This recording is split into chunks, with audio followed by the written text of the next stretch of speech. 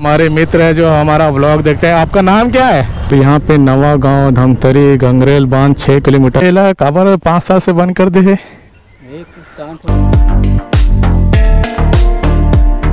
दौड़ती है वाली बोटिंग। कितना भैया प्राइस इसका? ये पहुँच गई। रिसोर्ट में एंटर कर सकते हैं। तो कितना खूबसूरत सा यहाँ पे रिसोर्ट बना गाइस वेलकम बैक ब्लॉग सरोवर पे फिर आप सभी का स्वागत है। गाइस तो अभी हम हैं धमतरी पे और अभी हम निकल गंगरेल डैम के लिए। मानसून का समय है तो देखते हैं कैसा माहौल है। और आप ब्लॉग देखना, मुझे कमेंट करके ज़रूर बताइएगा। फ़िलहाल हम यहाँ पे रुके हुए थे नाश्ता पानी करने के लिए। कुणाल भाई के साथ पे आए हुए हैं। इधर को भाई तो ठीक है गाइस निकल। यहाँ से अपने को राइट लेना है। लेफ़्ट जाते हैं तो अपन निकल जाएँगे कुरुद सिटी धमतरी का फ़ेमस है रायपुर के लिए। यहाँ पे अपने को रुकना पड़ेगा कुछ देर। और हम लोग जब बस्तर गए थे ना गाइस तो यही वाली रूट से गए थे हम लोग बस्तर।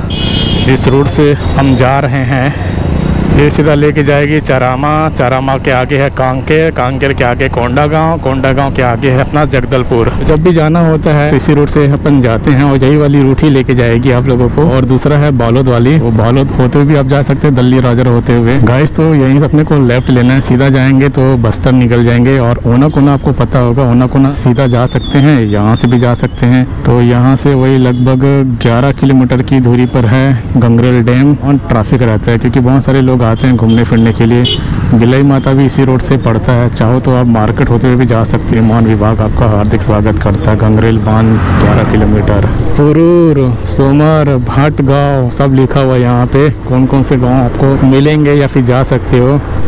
तो गाइस आप लोगों को अगर विद्यवासिनी माता का दर्शन करना है तो यहाँ से आप जा सकते हो। सीधा ही सीधा है, और ये चौक है, और ये लेके जाएगी सीधा आपको गंगरल डैम के लिए। तो ये हमारे मित्र है जो हमारा व्लॉग देखते हैं। आपका नाम क्या है?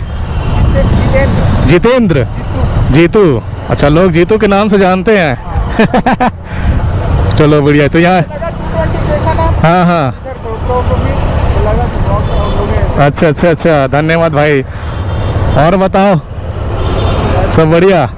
रुद्री बैराज एक किलोमीटर है। कौन सा भाई? अंगार मोती, आठ किलोमीटर है। पूरा बोर्ड पे मेंशन है भाई साहब। तो यहाँ रुद्री, एक किलोमीटर है। रुद्री भी जाने हैं यार। वहाँ का भी ब्लॉग शूट करने हैं। देखते हैं, बंगरेलेम के बाद में वही चलेंगे। इसके बाद फिर नरारा चलेंगे। फ़िलहाल तो अभी इस साइड का एरिया देख लो आप लोग। देखो, ये चौक है। अगर लेफ़्ट जाओगे तो वही रुद्री के लिए निकल जाओगे। सीधा जाओगे तो गंगरेल डैम के लिए। यहाँ से नरहरा वाटरफॉल जा सकते हैं। ये क्या है भाई? देख रहे मस्त आलिशान बंगला बना रखा है इतने दूर में। और यहाँ पे नवा गाँव धमतरी गंगरेल बाँध छः किलोमीटर है यहाँ। डायरेक्शन दिया हुआ है।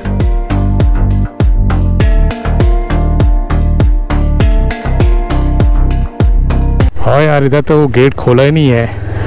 मैं सोचा खुला होगा गेट। बारिश उतना हुआ भी नहीं है। गाइस तो अभी हम आ चुके हैं गंगरेल डैम के पास में। हमारे पीछे साइड में है चौदह गेट। पिछले साल जब आया था तो गेट खुल चुका था। तो यहाँ पे लबा लब पानी भरा हुआ था, लबा लब। और काफ़ी सारे लोग थे जो यहाँ से निहार रहे थे। ऊपर से जाने को तो मिलता नहीं है। जब हम छोटे थे तो पिकनिक मनाने के लिए हम लोग यहीं आया करते थे। अब तो साइड जाने को मिलता ही नहीं है।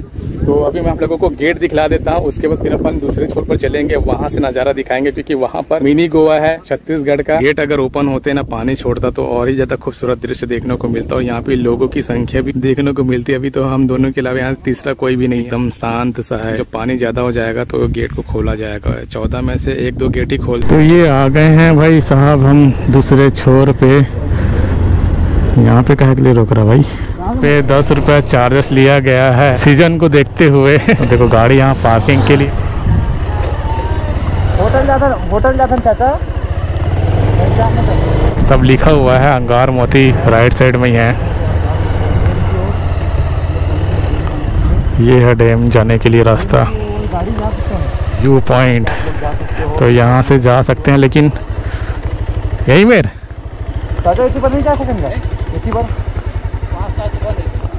पाँच साल से बंद है। पार्क जो रही से तेन बंद हो गए? पार्क वार्क है सब सब बंद हो कांग्रेस बंद हो तो ये इला काबर पाँच साल से बंद कर दे है? एक कांड हो गई इसने बीच में। अच्छा। अच्छा। अच्छा खुद को दादागिरी से। प्यार मोहब्बत वाला? तो गाइस यहाँ से अपन जा सकते हैं मिनी गोवा के लिए। आओ। ही सही बात है का?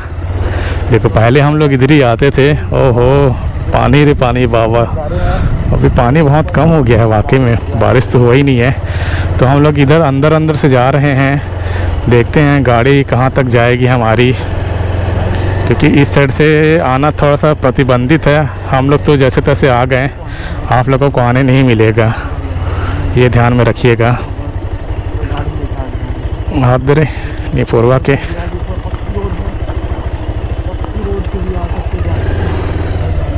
इधर चलते हैं।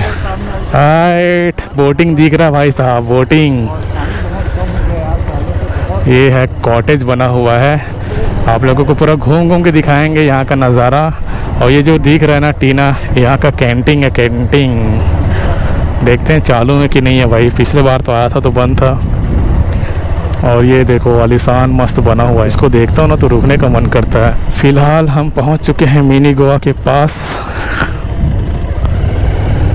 देख रहे हो, हम अपनी बाइक लेके आ रहे हैं तो देखो हमारी बाइक यहाँ पे खड़ी है। लोगों को पैदल ही आना पड़ेगा। पीछे साइड में रिसोर्ट बने हुए हैं। जाते समय आप लोगों को मैं यहाँ का रिसोर्ट भी दिखा दूँगा। हम अभी आ चुके हैं छत्तीसगढ़ का मिनी गोवा। आ जाता है, लेकिन देख रहे हो, एकदम शांत सा है। बहुत ही ज़्यादा शांत है। यहाँ पे टिकट काउंटर बना हुआ है, जहाँ पे आप बोटिंग का टिकट खरीद सकते हैं। या क्या चार्जेस है, वो आप आकर पता कर लेना है। हॉल जब बनता है ना तो टिकट का प्राइस हाई हो जाता है। जैसे कि अभी पचास चल रहा होगा। जब माहौल बन जाएगा, लोग आना जाना ज़्यादा करेंगे तो उस समय सौ हो जाता है। टिकट का रेट बताना मुझे नहीं लगता कि सही रहेगा। मैं है अंगार मोती तो उसका मैं अलग से ब्लॉग शूट करूँगा। काफ़ी अच्छा है यार डैम लेकिन वही दिक्कत है ना, वहाँ पे जैसे कि मैं आप लोगों को बताया, अंकल से पूछ के, वहाँ पे मैं अंकल से पूछ रहा था कि भाई वहाँ पे जो पार्क है, उसको काहे के लिए बंद कर दिए? तो वही सब बता रहे थे कि वहाँ पे दिक्कत हो गई थी, कि डेथ हो गई थी, लेकिन वो जो जगह है ना भाई, लाजवाब जगह है भाई, जाने देते हम रिक्वेस्ट कर रहे थे अंकल से, लेकिन अंकल माने नहीं। उनकी भी ड्यूटी है। अब हम ब्लॉग बना लेंगे ना तो दूसरा आएगा।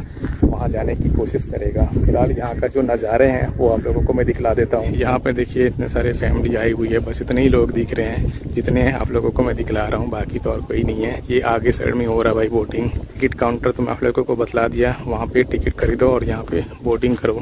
सन्नाटा पसरा हुआ है। मिनी गोवा भाई, माहौल ही नहीं है यहाँ पे। वहाँ पे गेट है, जो यहाँ से नज़ारा दिखाएँगे गेट का। इधर देखिए, लबालब पानी भरा हुआ है। उस साइड में पानी था ही नहीं।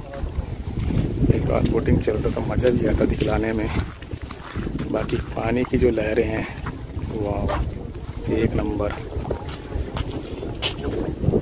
पाँच सौ रुपये से स्टार्टिंग है। नाव भी है यहाँ पे। नाव का भी आनंद उठा पाएँगे आप लोग। इस साइड में है गेट। ये देखो गेट। के ऊपर से अपन जाते थे पिकनिक मनाने के लिए। ये वो स्थान है जहाँ पे हम लोग पिकनिक मनाते थे किसी ज़माने में। आज के समय में तो जाना बंद है।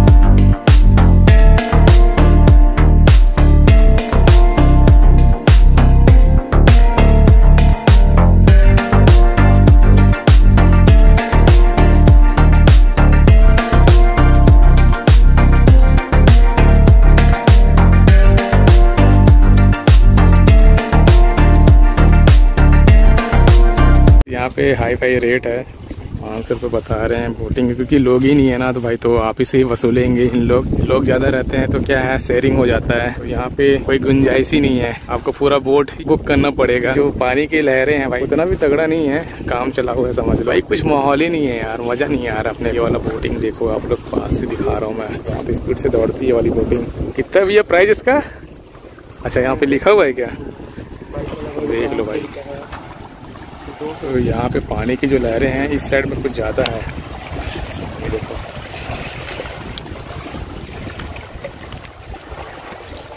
और यहाँ पे कुछ फैमिली गए हुए हैं बोटिंग का आनंद उठाने के लिए। बहुत महँगा है भाई। तो देखो, यहाँ पे वाला बोटिंग चालू हो गया है। फैमिली वाले लोग गए हुए हैं एंजॉय करने के लिए।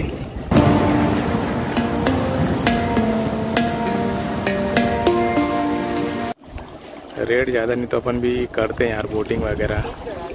बस्तर में अगर बारिश ज़्यादा होगा ना तो यहाँ पे पानी का स्रोत बढ़ जाएगा। क्योंकि वहीं से जुड़ा हुआ जैसे कि महानदी हो गया और चारामा, कांके साइड हो गया। इस साइड का जो पानी का लेवल बढ़ता है, यहाँ का भी पानी का लेवल जाता है। अभी हम आगे बढ़ रहे हैं। इस साइड में क्या लहरें कुछ ज़्यादा है। और ये जो पत्थर देख रहे हैं ना, बिच्छू बहुत पाया जाता है। पत्थर हटाओगे, कोई ना कोई बिच्छू दिख ही जाएगा छोटा मोटा वाह यहाँ पे बैठ के नज़ारे का लुट उठाओ। काफ़ी शानदार।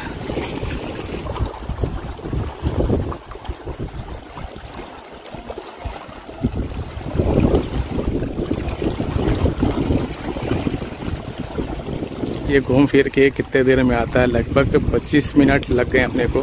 घूम के मस्त लेके आए हुए भाई साहब, पूरी फैमिली को। पाँच लोग रहते तो सौ सौ रुपये दे के अपन कर लेते भाई। पाँच सौ वाला। ओ भाई वीडियो ले रहा हूँ करके हाथ हिला रहा है। ये पहुँच गई।